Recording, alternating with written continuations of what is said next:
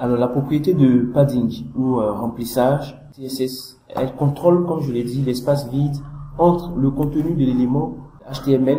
Alors la propriété padding, comme on dit la propriété de remplissage en CSS, elle contrôle l'espace vide entre le contenu de la balise HTML et sa bordure. D'accord? Donc l'augmentation du padding d'un élément rend l'espace autour de cet élément-là plus grand, alors que réduire le padding va, va rendre l'espace plus compact. On va ensemble augmenter l'espace entre le paragraphe et sa bordure.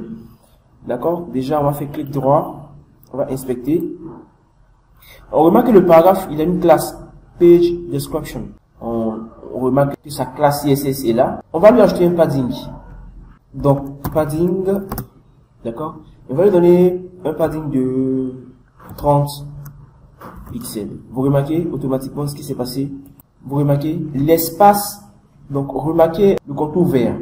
D'accord La zone en vert.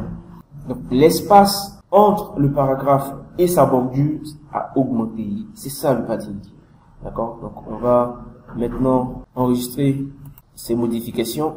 Donc, dans page description, c'est padding de 30 pixels.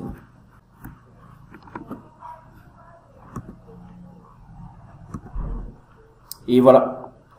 Dans la prochaine vidéo, on va voir maintenant comment travailler avec la marge.